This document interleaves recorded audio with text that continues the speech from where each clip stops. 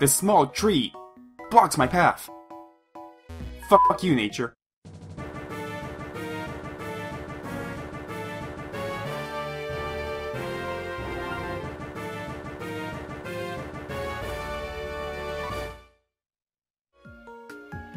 Hey there guys, and welcome back to NU-locke, a Pokemon Black Never Used Here Nuzlocke challenge.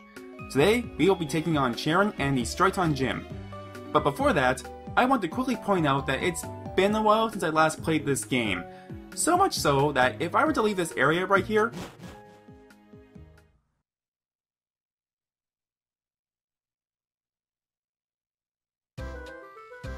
Yeah, it's been over a month.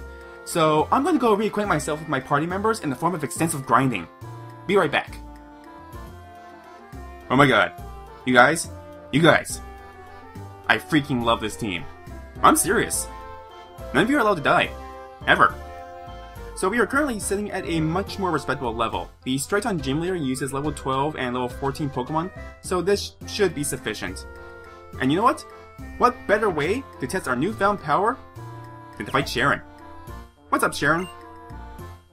Hmm, my Pokemon is poisoned, its HP decreases while it's battling. Hey, what's up? Have you come looking for the gym leader? No, I came looking for you. I need experience fodder.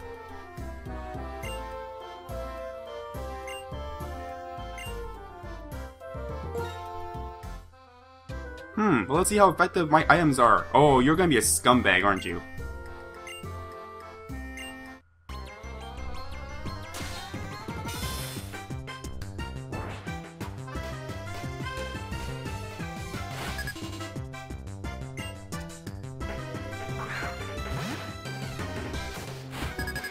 Oh, level 8? Dude. You could use some grinding. Alright, Colonel, let's test out your newfound power. Colonel actually learned Detect, and Detect is a very helpful move that allows you to block an attack that's incoming. You can only use it once every second turn or so, but it's very handy if you want to scope. Let's go for some bites and see if we can get a flinch off of this Tepig right here. Oh, nice crit! Wait, this Tepig's holding an item? Hacks. Well, we got we got a crit and we got a flinch, so I can't complain about that. Let's see if we can get another one. Oh, nice! Is just doing all the flinching.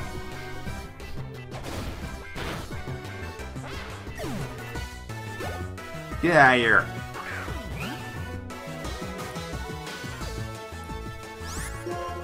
And a Purrloin, huh? This should be fairly easy. Let's go for a stabbed tackle attack.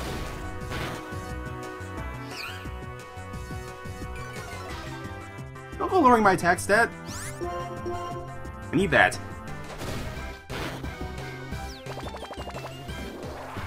Uh-oh. Cyst.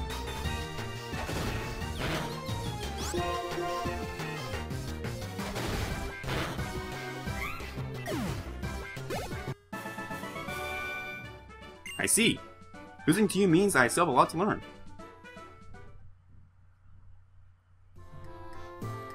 So learning to use items well is definitely important then. Oh, here! I'll give you some... Oh, berries! Yes, yes, yes! Give me these! I want these, I want these so badly.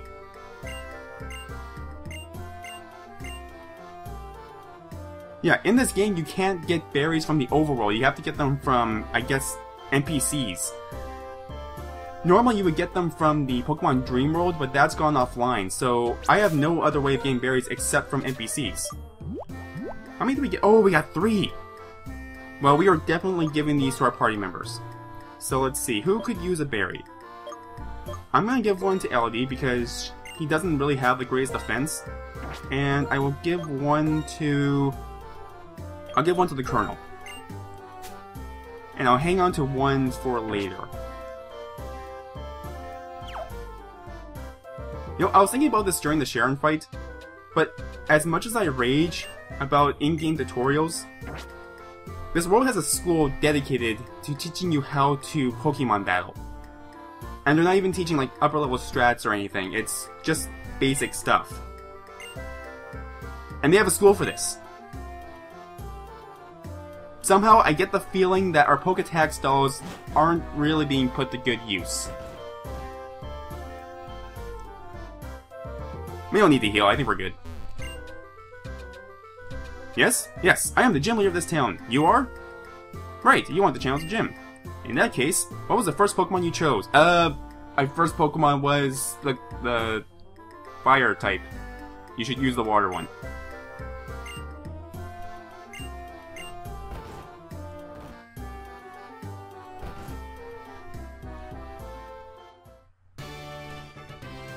So the gimmick behind this gym is that they will use a type that is strong against whatever Pokemon that you picked at the beginning of your journey. And as a mechanic, I can see how this can work in your head, but fundamentally, I just, I really do not like this gym. Also, the other mechanic of this gym is that we're supposed to pick the whatever attack is super effective against whatever's on the curtain. And I get how this is supposed to teach you the elemental triangle and how that's supposed to work. But the trainers inside this gym, they all use normal Pokemon. All the Pokemon are normal type here. I mean, you see this, you see this leap up right here? Why couldn't this have been a Sewaddle? Or if you want to teach me about fire types and how water is super effective against it, why couldn't this been a Darumaka? Because then I could have actually used a water type on it and actually see for myself that it's super effective. That bite did a lot of damage. Okay, we're obviously not faster than this Lillipup, so we're gonna go for Tackle instead.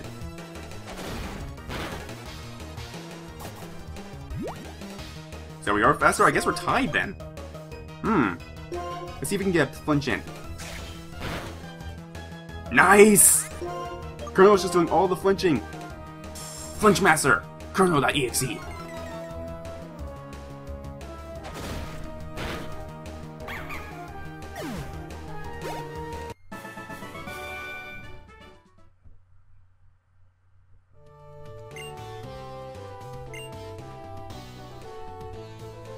Hmm, let's see, what, is, what could potentially be strong against water types?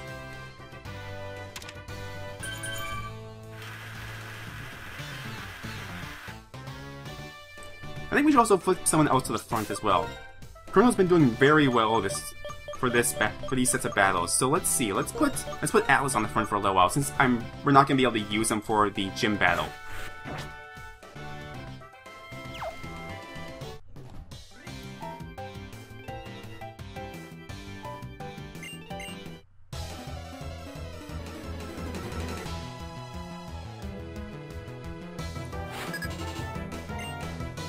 Now the last turn that we just passed was the water curtain, so why couldn't this Patrat have been a water type?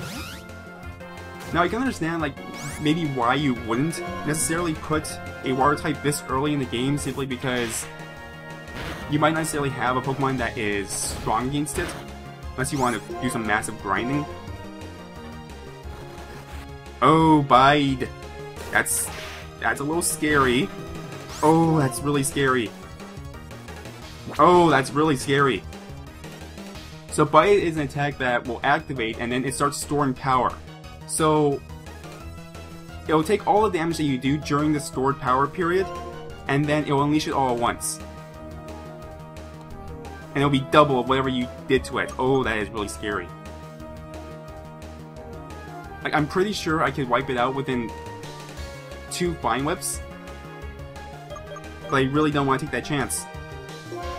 So we're gonna do some non we're gonna do some non-damaging attacks. Go for a Leer.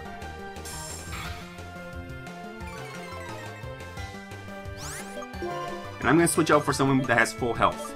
Who has full health right now? I need LD for the gym battle, so we're gonna go for Monty then. I don't think I did that much damage with Vine Whip while it was storing power, but just to be safe. Ooh, wow. So I did 9 damage with that Vine Whip. Go for a tackle? Stop that! Stop biting!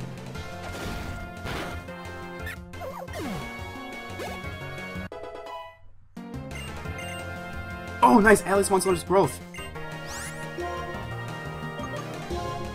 So let's see, growth increases our attack and special attack stats. So I think I'm gonna get rid of...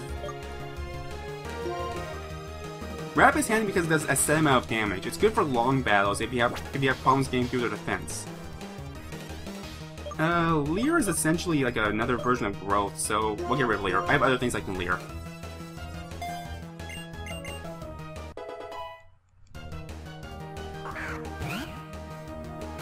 And Monty should be able to take a Purrloin without any problems. But just to be safe, I'll, swip, I will switch back over to Atlas.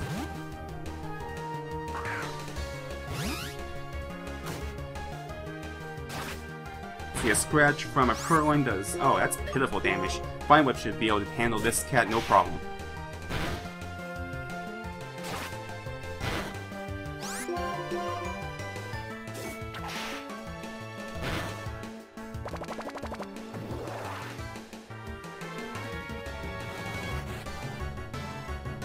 Why is everything used Bite in this game?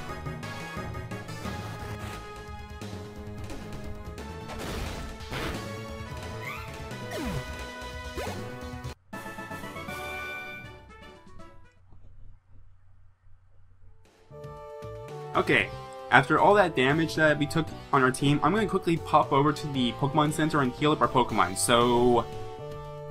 Healing! Okay, we're healed up. Moving on.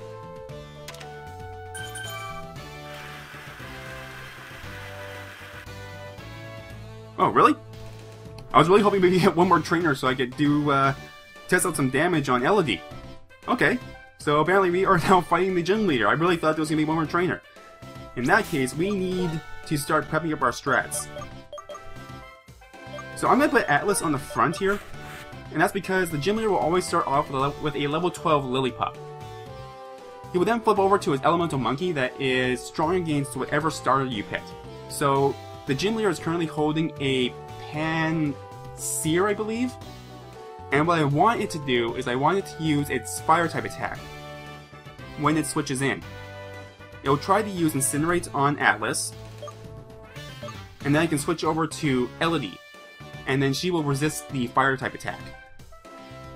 But I really should get rid of the berry then, because Incinerate is an attack that will get that will burn the berry. Ah! Okay, in that case, I will put the berry onto Atlas just for good measure then. Because Atlas, I don't want you taking Incinerate anyways, so you should be fine. That is such a dick move then! Cheren gives you berries. I now go fight a gym leader that uses Incinerate and can burn my berries up and do extra damage because of it. Cheren, you are a freaking troll, you know that? Okay, deep breaths.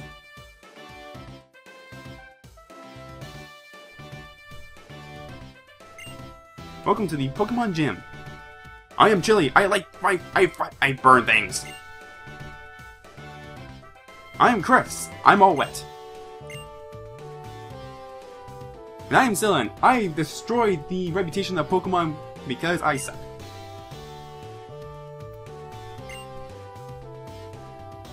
As for why there are three of us, um, well, we're all gym leaders.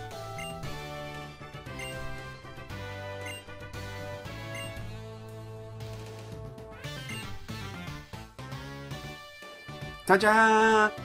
A fire-type Scorcher Chili, that's me, will be your opponent! Yow! Time to play with fire! I am the strongest of us brothers!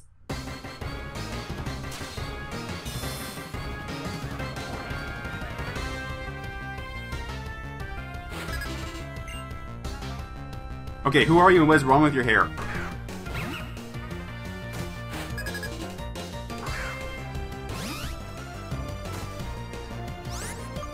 Okay, gym leaders also tend to use items a fair bit, so there's a really high probability that I might weaken down the Lillipup, and then he will use an item to heal himself. So I'm going to use a Growth to increase Atlas's attack strength.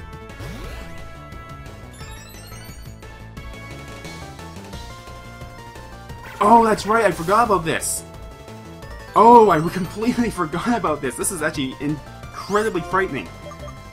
The gym leader here, his TM is worked up. Which means that he can also boost his attack strength as well. Oh, that is terrifying. That is absolutely terrifying.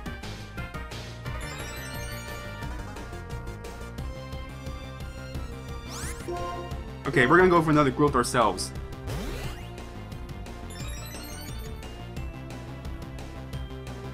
Bite is gonna do... That was 14 damage from a bite. Bite has 60 power, attack of might be enough to bring Atlas down if it's a crit. Vine Whip, take that Lillipup out! Oh, that fake sturdy! Eat that berry! No! No! This thing had pickup. I forgot they added that mechanic as pickup.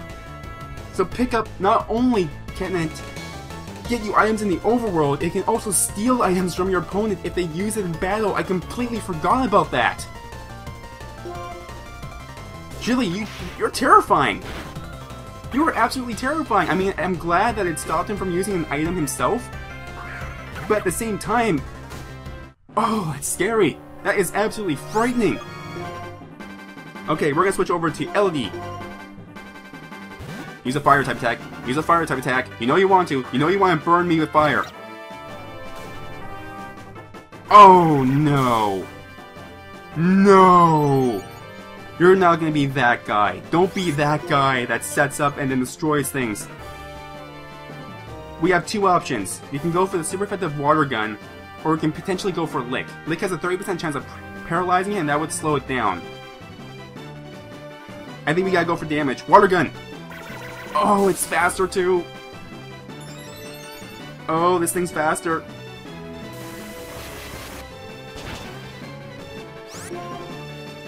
So LD, you, you gotta take one hit. You gotta take one hit from this thing.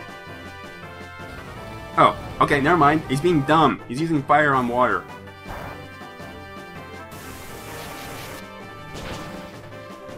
Yes! Long live the queen! Long live the queen! Long live the queen!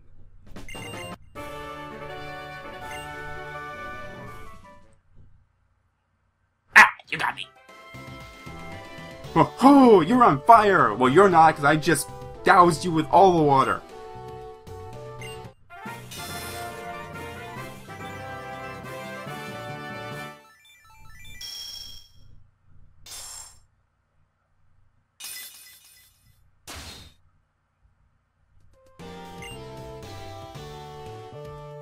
Badges are proof of a trainer's abilities.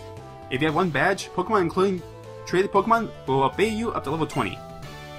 I also want you to have this.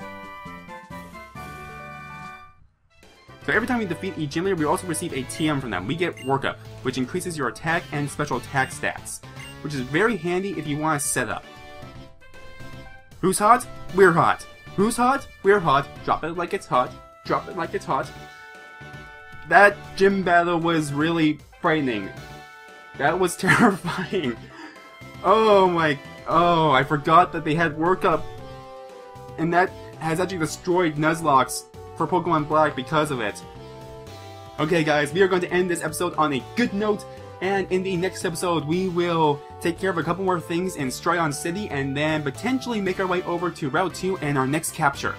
As always, thank you guys so very much for watching this and I hope to see you next time. Laters!